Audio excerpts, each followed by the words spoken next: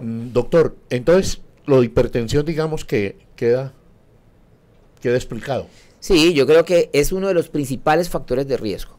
Muchos pacientes son hipertensos y no saben que son hipertensos. Están en la casa, nunca han consultado donde el médico y si no consultan y no les toman la presión arterial, pues el problema de eso, así no sientan absolutamente nada y eso es algo muy importante.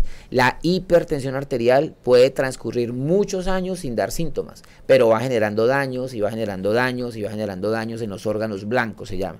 Entonces, eh, la persona a veces dice, no, yo para qué me hago tomar la presión si yo no siento nada, no tengo dolor de cabeza, no tengo mareo, y resulta que no tiene que tenerlo. Un paciente puede estar muy hipertenso y, estar totalmente asintomático. Cuando ya se ocurre el daño de los órganos blancos, entonces ahora sí aparecen los síntomas, pero ya, ya ha pasado mucho tiempo y ya es muy tarde, porque ya la presión hizo su daño durante mucho tiempo.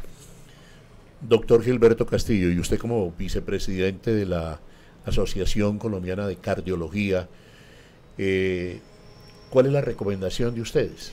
Creo que la Sociedad Colombiana de Cardiología a nivel nacional ha trabajado fuertemente. Este mes de septiembre que, pasó fue el mes del corazón. Eh, eh, normalmente es un día, pero ya la Organización Mundial de la Salud dio libertad a las, a las diferentes sociedades de cardiología a nivel mundial para adoptar las medidas que considerara más prácticas. La Sociedad Colombiana de Cardiología ha trabajado muy fuerte, especialmente por llegar a la comunidad, para para hacer un, ese, esa concientización que es tan importante. O sea, yo creo que en, el fondo todos sabemos las medidas que debemos tomar para tener una vida más cardiosaludable. El problema es que saberlo no significa necesariamente que todo el mundo lo haga. O sea, todo el mundo sabe que debe hacer ejercicio, que debe comer más sanamente, que debe vigilar su presión, que debe estar más relajado, que debe mantener su peso. Pero el saberlo solamente no es suficiente para que todo el mundo adopte estas medidas. Y ¿Cómo estamos de cardiólogos hoy en el país? Yo creo que estamos muy bien. Yo creo que el nivel de la cardiología en la gran mayoría de las ciudades principales del país es muy bueno.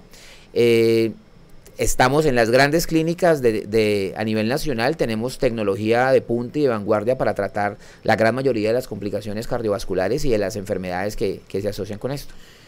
Un, e, un evento de, de miocardio, un evento de cardiología, pues en qué momento se puede atender o cuánto tiempo tiene uno quien lo sufre para llegar a recibir un buen, un buen tratamiento profesional.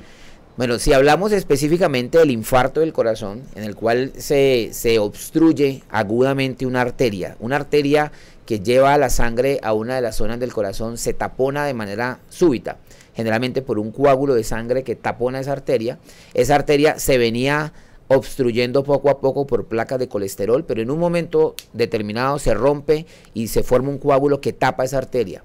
Esa arteria al taponarse entonces impide que haya un flujo adecuado de sangre y eso significa que como al corazón no le está llegando flujo adecuado empieza a doler. Por eso el síntoma más frecuente del infarto del corazón es el dolor en el pecho. Y ese dolor en el pecho, ese infarto, si realmente es un infarto o una angina, que es lo que se conoce médicamente, ese concepto cuando el dolor es por causa de falta de oxígeno en el corazón, hay que tratarlo lo más pronto posible. Eh, dependiendo de la severidad, pues hay que intervenir a ese paciente lo más pronto posible. Muchos de esos pacientes pueden requerir cateterismo cardíaco de urgencia otros pacientes posiblemente no lo requieran de urgencia, pero posiblemente sí lo requieran en las siguientes 24 o 48 horas. O sea que en general la recomendación es, ante la presencia de un dolor en el pecho fuerte, intenso, opresivo, eh, es mejor consultar rápidamente a un servicio de urgencias y no dilatarlo en la casa ni esperar porque generalmente la gente a veces dice, no, eso debe ser indigestión o debe ser algo que me cayó mal y entonces pierden minutos valiosos cuando es un infarto, por ejemplo. Entonces la recomendación es, ante la duda, consultar lo más pronto un servicio de urgencias. Tocó usted someramente ahora el colesterol. Hablemos de esa causa también. Eh, ¿Cómo es esto del colesterol, el detalle? El colesterol posiblemente junto con la hipertensión arterial son los dos factores que más pueden explicar la ocurrencia de infartos. Eh, nuestra población latinoamericana tiene una tendencia a producir un nivel, un tipo de colesterol que se llama colesterol malo. El nombre médico es colesterol LDL. Cuando usted le hacen el examencito de sangre del perfil lipídico, usted puede ver que a veces sale un LDL. Ese es el que uno le presta más atención. Hoy en día no le prestamos tanta atención posiblemente al colesterol total, sino al colesterol LDL, porque ese es el colesterol malo. Ese es el que se va depositando en las paredes de las arterias y ese es el que va obstruyendo las arterias con el paso de los años. Eso físicamente, doctor Castillo, perdón por el término, pues no sé si sea el correcto, es eh, eh, grasa en la sangre. Correcto. el colesterol es, una, es un tipo de grasa que es supremamente importante para el cuerpo. O sea, nosotros necesitamos tener niveles de colesterol para muchas funciones, para la síntesis de muchas hormonas, pero el problema es el exceso de colesterol libre que se va depositando eh, en las paredes de las arterias. ¿Y estos valores cuáles deben ser regularmente? Pues ahí es un poco más difícil porque no existe un nivel normal de colesterol, depende del nivel de riesgo del paciente. Ejemplo, si ese colesterol LDL, que es el colesterol malo del que estamos hablando, digamos que tengo dos pacientes y los dos tienen 130 de colesterol malo, de colesterol LDL. Uno de los pacientes es una persona joven, deportista, de 40 años de edad, no es hipertenso, no es diabético, no tiene antecedentes de enfermedad cardíaca en su familia, tiene 130. Ese nivel de 130 es perfecto para ese paciente. Pero otro paciente que digamos tiene 50 años, eh, ya se infartó hace 3 o 4 años, o es obeso, o, tiene, o fuma, o, es hipertenso, eh, ese paciente tiene también 130 y ese nivel de 130 es inaceptablemente alto para ese paciente.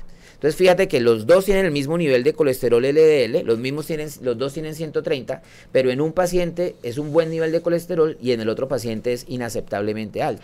Entonces el nivel de colesterol normal depende del grado de riesgo que tenga cada paciente. Y esta grasa se da un instante. Estoy tan, eh, eh, pues, eh, a ver, diligente, emocionado también por dar información a ustedes y pues, desde luego por uno conocerla también con el doctor Gilberto Castillo, porque estamos hablando nada menos que mortalidad mayor por el corazón que por las balas en Colombia. Pero pues una cosa no nos puede alegrar porque la otra eh, se, haya, se haya modificado. Ya regresamos aquí a Corazón Pacífico, Desarrollo Humano y a ir a Alianza Internacional de Radio.